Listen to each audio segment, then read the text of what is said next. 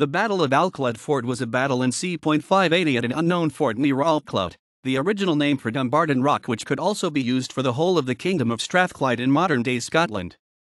It is known from two poems in the Book of Taliesin.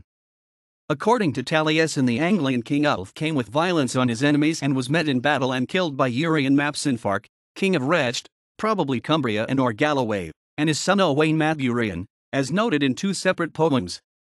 The Bernician attack would have been faced by spear and javelin armed horsemen, who made up the bulk of the Rhegedian warriors, whilst the Bernicians themselves would have primarily consisted of infantry as was the standard for Anglo-Saxon warriors of the period. Ulf was probably one of the sons of King Ida of Bernicia, most likely Theodulf, which puts the battle at c.574 or c.590, or potentially Frithuwolf, also known as Ulf or Frithuwald, which would put the Alclud Ford at c.580. The battle was fought at a time when Rheged was at its ascendancy, and the armies under Urien and Owain were the most powerful in the north. Equals equals References